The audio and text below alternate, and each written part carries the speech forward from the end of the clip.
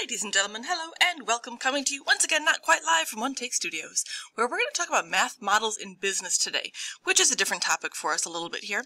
Um, I'm going to look at four essential basic math models that we might see in the business world.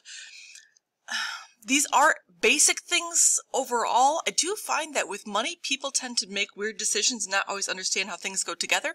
So I will do my best to be super duper clear with this. The first thing that we are looking at is the idea of calculating sales tax.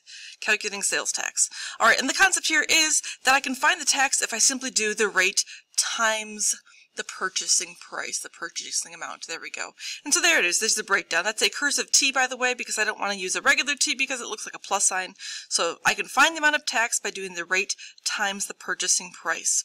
Rates, remember, should be written as decimals. Otherwise, your calculations end up being really weird and kind of wrong. All right, so let's say for the fun of it, here's our example here. Um, we're going to be purchasing a hoodie for $19.99 and I live in Michigan that has 6% sales tax. So how much tax am I going to pay on this? Again, this is for calculating the tax and just the tax.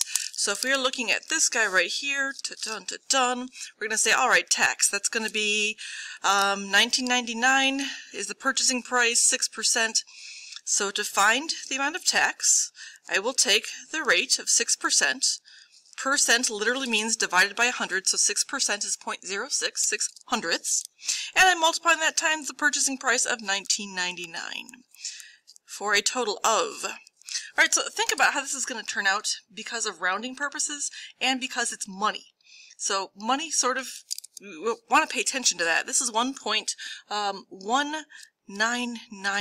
is how it's currently coming up on my screen when I multiply that. So what makes sense here? If we're talking dollars and cents, literally cents, uh, 19 cents is going to round to 20 cents, and so we're going to call this approximately a dollar 20. Now keep in mind, we are not paying a dollar 20 total. We are paying a dollar 20 in tax on top of the 19.99. So I could go ahead and I could add that to the 19.99 to find my total for checkout. Um, is there a way of doing all these things in once? Could I find the tax and add it together?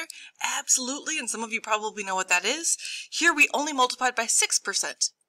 What if we multiplied by 106%? If I put a 1 there, that means I get all of the 1999 plus 6 cents, 6% more. That is one way to take a little bit of a shortcut there. Some people are okay with that, some people are not, but that is our first idea of the day is calculating sales tax. All right, so next up, is the idea of something called straight line depreciation. Now, depreciate is to lose value, and so straight line indicates that we'd be losing the same amount of value consistently as we go, dropping in value. Is straight line depreciation a thing? Yes and no. I think that a lot of things actually don't lose value in a linear manner, but that's the one that we're going to look at for today for models. So, uh, annual depreciation can be found by just looking at the difference between what this thing used to be worth and what is it worth now. All right, so the residual value is the residing value, the value that it currently has, the value left behind compared to the original. And if I take my amount of my loss over how many years, that's going to give me how much I'm losing in value every single year. Um, in the case of this, let's say that we bought a car. The car was $24,000, and five years later, it's now worth 13,000. So it's been losing losing money here. Is losing uh, value on a vehicle straight line? Probably not. It probably has more of a curve to it than this, but just for the fun of it. What's going to happen with this? Well, we say, all right, I'd like to know the annual depreciation. How much am I losing? Well, originally it was worth 24,000, so there's my 24,000 and then minus how much is it currently worth? What's its residual value? That's the 13,000. And I've lost this amount of money over the course of, did you find it? Boom, five years right there. That is what I'm looking at. So for this, if I actually run that calculation, I end up with 2,200. Wow. Not 22,000, 2,200. There we go. And that is dollars, and that is how much I am losing every year. So I am losing $2,200 worth of value every year on this vehicle if it truly is straight line depreciation. All right, so that is the second equation of the day right there, the second idea. Ta-dun, ta-dun, ta-dun. There we go. Decorate it, make it pretty, make sure that you can find it. Find it easily. All right, so two down, two to go, sort of. This next one's a doozy, though. It actually comes in multiple parts.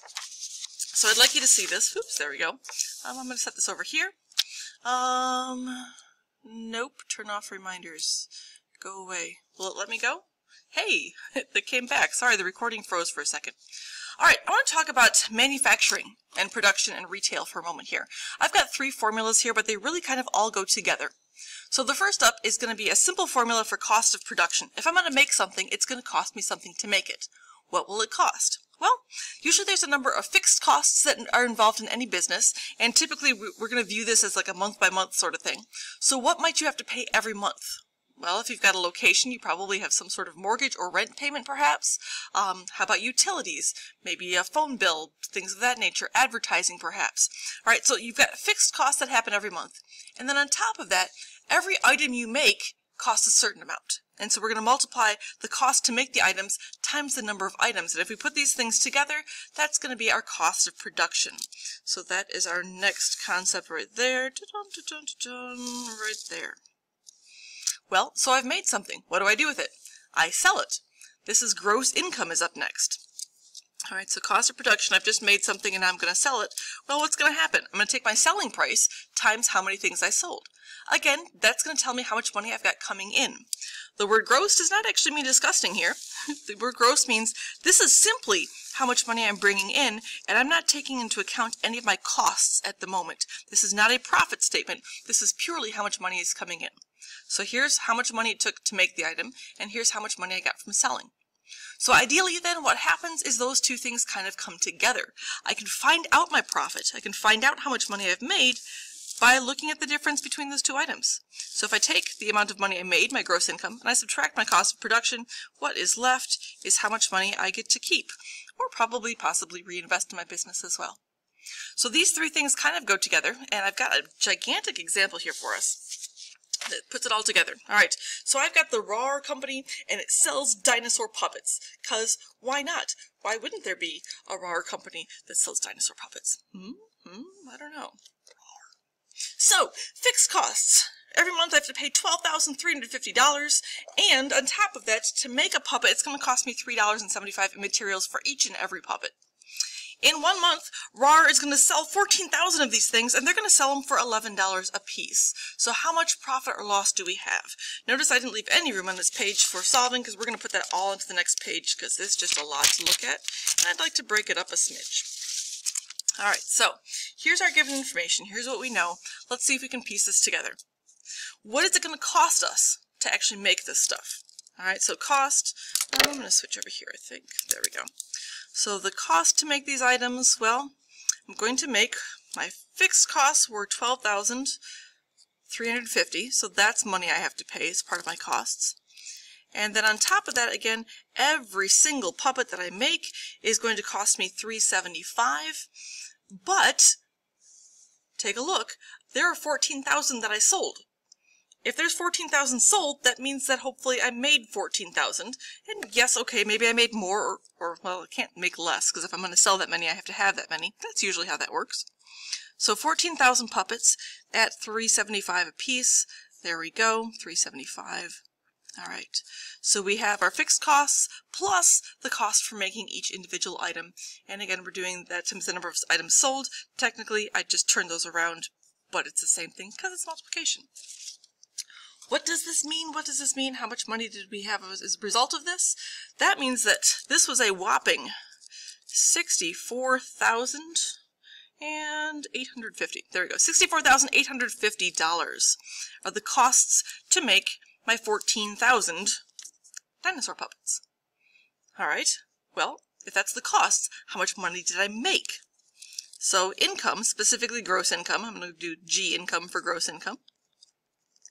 I'm going to take again the 14,000 that I sold, but each of these was sold for $11. So I'm going to multiply times 11 this time.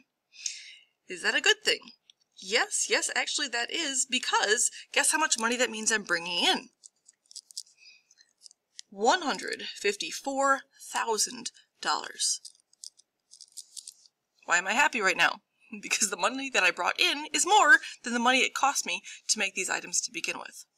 So if I'm looking for, hey, how much money did I make? What is my profit on this thing? Pull it all together. profit is going to be simply the difference between the 154,000 and the 64,850. And if we subtract those, we find that we are probably kind of happy because we made, ooh, yes, 89,000, there it is, $89,150. Grand total, that is our profit. And it's a positive number, so we made money. If we subtracted it had been negative, that would mean that we were lost money. Money in the hole. All right, these each individually usually make sense to people, but sometimes when they all come together, you may need one or two or sometimes all three of these particular equations. So keep that in mind as something that can be a little bit flexible as far as you picking what you need to use and when. All right, and then last up for today, the last thing I want to look at here is, where to go, where to go, this guy right here. We're going to move that. Okay. This is markup amount. All right, so you make something. If you don't make it and also sell it, chances are you make it and somebody else sells it.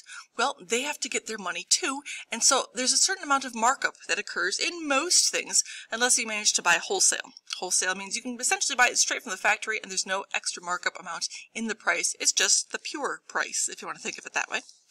So we need to do the markup rate. Again, this is going to be a rate, a percentage, times the wholesale price. All right, so coming from the manufacturer, what is the markup rate? That'll give us the markup amount. So not super crazy. Um, we've got a clothing manuf manufacturer this time around. Can I move this? I can. There we go.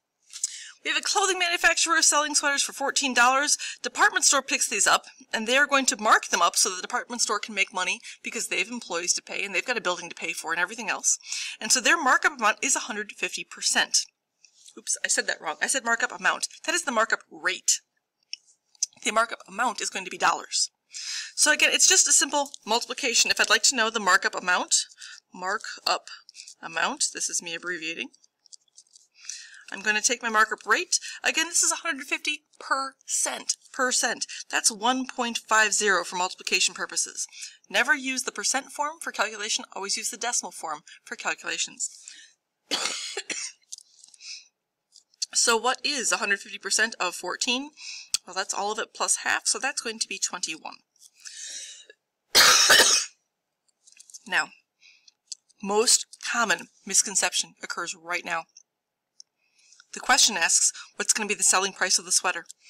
And I know a whole bunch of people out there that will say, yes, we're going to sell the sweater for $21. No, that is the amount that is being marked up on top of the price. That means, note to self, take the original, add on the markup amount to get the true selling price for whoever department store in this case is going to be marketing and selling the sweater.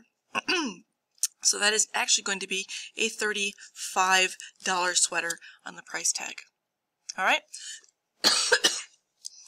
Read carefully. The best advice that I can give you on this stuff is make, kind of pretend like it's your company and it's your money. Nobody's going to keep track of your money as well as you are. So think of it that way and you don't want to ever be shorted. So there we go. and now it's clearly time for me to go as well. All right. Thanks so much. Have fun. Be careful.